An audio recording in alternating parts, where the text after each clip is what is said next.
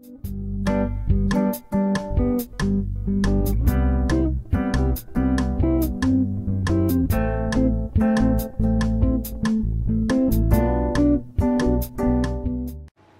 Everyone पिछले class में हम लोगों ने देखा कि न्यूट्रिशन का दो तरीका होता है। पहला ऑटोट्रॉफिक एंड दूसरा हेट्रोट्रॉफिक जितने भी हेट्रोट्रॉप्स होते हैं मतलब जितने भी एनिमल्स होते हैं, वो सभी फ़ूड के लिए ऑटोट्रॉप्स मतलब प्लांट पे डिपेंड करते हैं। हम सभी को फ़ूड जैसे दाल, चावल, सब्ज़ी, फल प्लांट से ही तो मिलता है।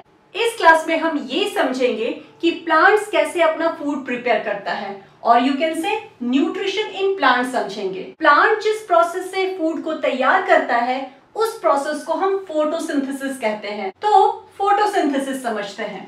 The process by which green parts of plant convert simple inorganic material into complex organic food in the presence of chlorophyll and sunlight is called photosynthesis मतलब फोटोसिंथेसिस वो प्रोसेस है जिसमें प्लांट का green part water and carbon dioxide को convert करता है food में C6H12O6 में in the presence of chlorophyll and sunlight बहुत सिंपल है। H2O वाटर है CO2 कार्बन डाइऑक्साइड है। इसको कन्वर्ट कर दिया जाता है C6H12O6 में। ये ग्लूकोज का फॉर्मूला है। ग्लूकोज एक कार्बोहाइड्रेट है। अब फोटोसिंथेसिस का केमिकल इक्वेशन देख लेते हैं। कार्बन डाइऑक्साइड एंड वाटर ये दोनों इनऑर्गेनिक मटेरियल है। इन दोनों को कन्वर्ट कर दिया गया है C6H12O6 में ग्लूकोज में। ग्लूकोज एक तरह का कार्बोहाइड्रेट है और कार्बोहाइड्रेट एक तरह का फ़ूड होता है। ग्लूकोज के साथ साथ वाटर एंड ऑक्सीजन भी मिलता है। और ये रिएक्शन होता है सनलाइट एंड क्लोरोफिल के प्रेजेंस में। अगर आप ये इक्वेशन को याद रखोगे तो आप बहुत सारा क्वेश्चन सॉल्व कर सकते हो एग्ज़ाम में। सबसे पहला तो आप इस इक्वेशन से फोटोसिंथेसिस का डेफिनेशन लिख सकते हो। दूसरा, अगर क्वेश्चन ये आता है कि फोटोसिंथेसिस के लिए क्या क्या रॉ मटेरियल चाहिए तो आप लिखोगे कार्बन डाइऑक्साइड एंड वाटर तीसरा, अगर ये पूछता है कि फोटोसिंथेसिस के लिए क्या क्या ज़रूरी है तो आप लिखोगे carbon dioxide water sunlight and chlorophyll इसको इस तरह से समझते हैं। चाय बनाने के लिए रॉ मटेरियल है, चाय पत्ती, चीनी, पानी और दूध। लेकिन सिर्फ़ इसके होने से चाय नहीं बनेगा।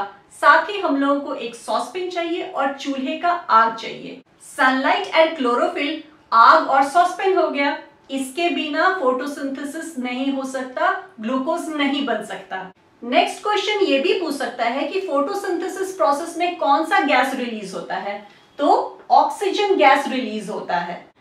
फोटोसिंथेसिस में जो ग्लूकोज बनता है, ये ग्लूकोज रॉ मटेरियल होता है एनर्जी के लिए। इसी ग्लूकोज से एनर्जी निकाला जाता है एनर्जी को एक्सट्रैक्ट किया जाता है।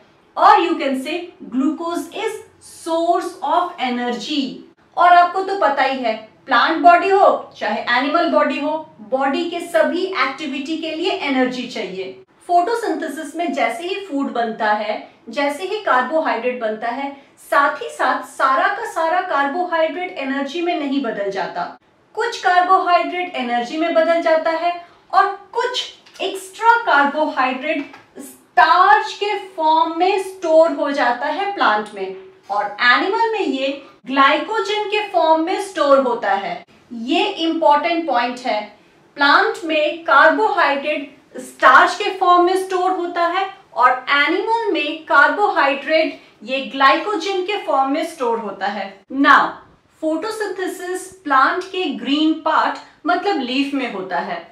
अब हम लोग ये जानेंगे कि लीफ में कहाँ पे होता है। इसके लिए हमको लीफ के क्रॉस सेक्शन को माइक्रोस्कोप में देखना होगा। एक लीफ लेते हैं और उसको आधा काट देते हैं इस तरह से। फिर एक छोटा ऐसा पतला ऐसा स्लाइस निकालते हैं। इसको माइक्रोस्कोप के अंदर देखेंगे तो कुछ इस तरह का दिखेगा। देखो, ये है लीफ का अपर पार्ट, ये है लीफ का लोअर पार्ट। और इन दोनों के बीच में है मिडिल पार्ट इसके माइक्रोस्कोपिक स्ट्रक्चर को समझते हैं।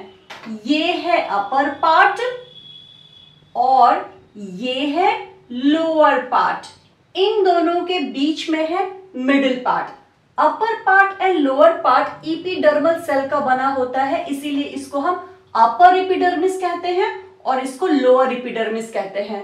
अपर एपिडर्मिस के ऊपर एक वैक्सी लेयर होता है, जिसको कि हम लोग क्यूटिकल कहते हैं। और लोअर एपिडर्मिस में बहुत सारा माइन्यूट पोर्स पाया जाता है, जिसको हम लोग स्टोमेटल पोर कहते हैं। और बगल में जो सेल होता है, उसको गार्ड सेल कहते हैं। और इस पूरे स्ट्रक्चर को स्टोमेटा कहते हैं। मतलब लोअर इपिडर्मिस में स्टोमेटा पाया जाता है। Upper epidermis and lower epidermis के बीच में है मिडिल पार्ट ये मिडिल पार्ट जिस सेल का बना होता है, उसको हम मीजोफिल सेल्स कहते हैं। इस मीजोफिल सेल्स में ग्रीन कलर का ऑर्गेनल पाया जाता है और you can say green colour का बॉडी पाया जाता है, जिसको हम क्लोरोप्लास्ट कहते हैं। इसी क्लोरोप्लास्ट में फोटोसिंथेसिस होता है। क्लोरोप्लास्ट ग्रीन कलर का इसलिए होता है क्योंकि इसमें ग्रीन कलर का पिगमेंट क्लोरोफिल पाया जाता है। यही क्लोरोफिल सनलाइट की एनर्जी को एब्जॉर्ब करता है, जो कि फोटोसिंथेसिस के लिए ज़रूरी है। So site of photosynthesis is chloroplast of mesophyll cells of leaves and why chloroplast because chloroplast contain light absorbing green pigment chlorophyll बहुत आसान है। फोटोसिंथेसिस लीव्स के मीजोफिल सेल्स के क्लोरोप्लास्ट में होता है। क्योंकि इसमें ग्रीन कलर का पिगमेंट क्लोरोफिल पाया जाता है, जो कि सनलाइट की एनर्जी को एब्सॉर्ब करता है। आप सिंपली ये भी लिख सकते हो the site of photosynthesis is chloroplast because it contain chlorophyll chloroplast में क्लोरोफिल की वजह से सनलाइट का एनर्जी आ गया।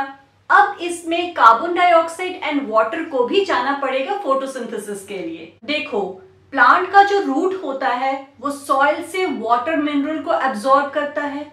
ये वाटर एंड मिनरल्स को जाइलम नीचे से लेकर के ऊपर तक हर एक पार्ट में पहुंचाता है। जिस तरह से हमारे बॉडी में ब्लड वेसल्स ब्लड को हर एक पार्ट तक पहुंचाता है, उसी तरह से जाइलम वाटर को हर एक पार्ट तक पहुंचाता है। ये है लीफ का मिड्रिप और मेन वेन ये बना है जाइलम एंड फ्लोएम से।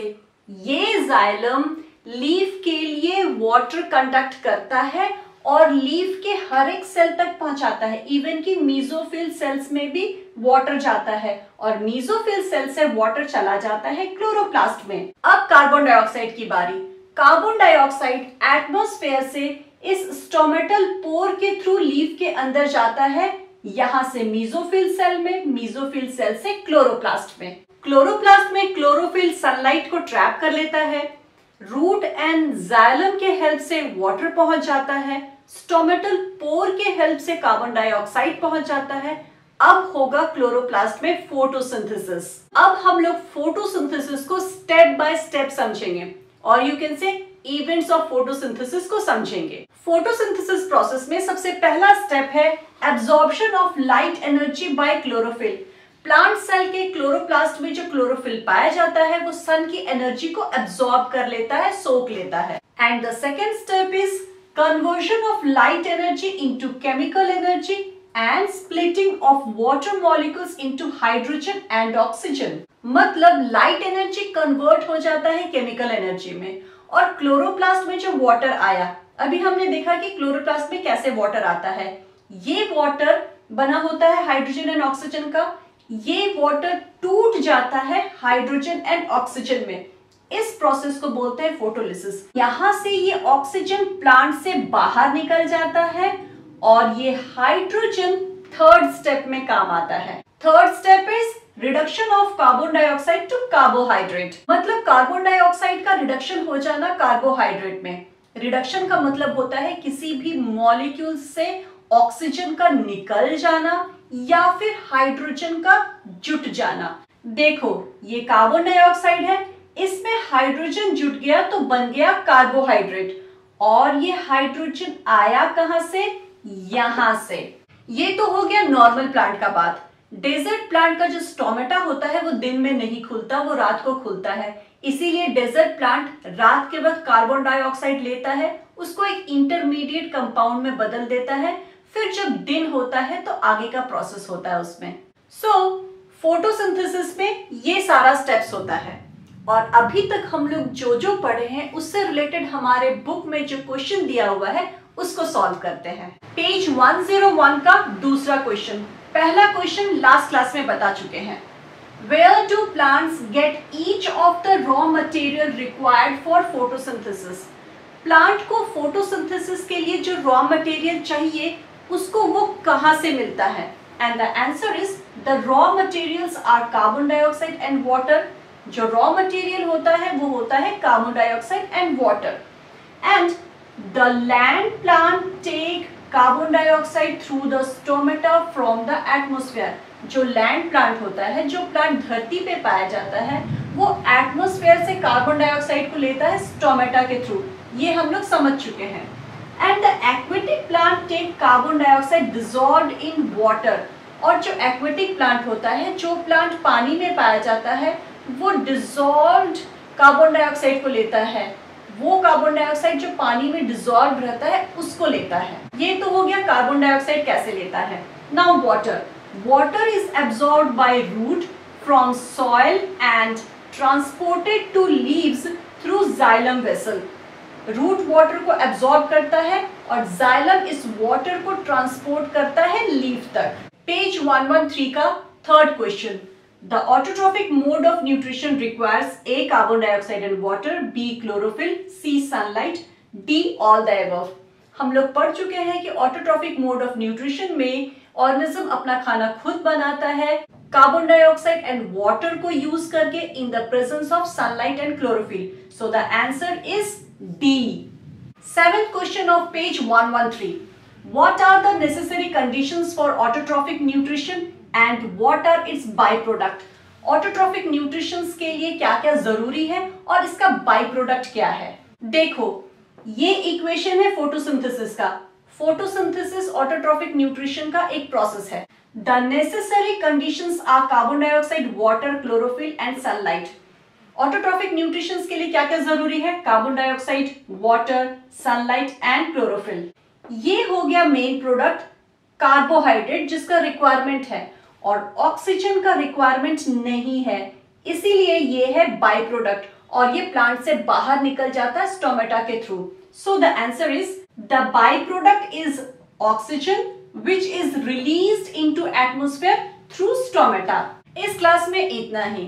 नेक्स्ट क्लास में हम लोग इसी को कंटिन्यू करेंगे। सो so, मिलते हैं नेक्स्ट क्लास में।